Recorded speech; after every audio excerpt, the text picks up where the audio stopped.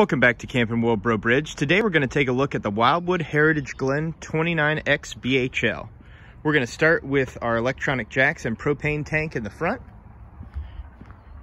Here we have our pass-through storage. We also see our awning that spans the side of the unit and outdoor speakers set on our twin axles. And over here is our fridge and stove combo for our outdoor kitchen. Stepping up into the unit, we see our strong steps and our handle for safety.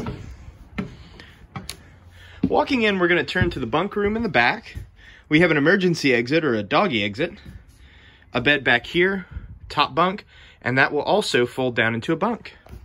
We also have an excellent set of storage right here at the front by the door.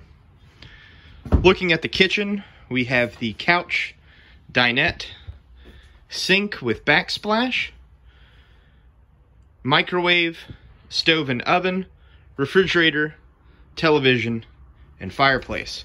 I'll let y'all get a view of the whole thing.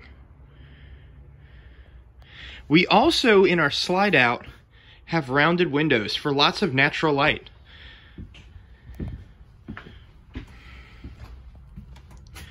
Here in the bath, we have our sink and cabinetry on this side. And then our shower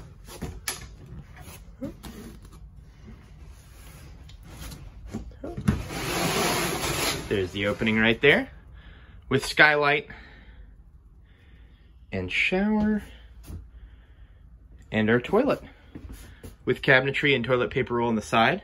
Back here in the back is the camper king size bed with hanging closed closets and vanity on both sides.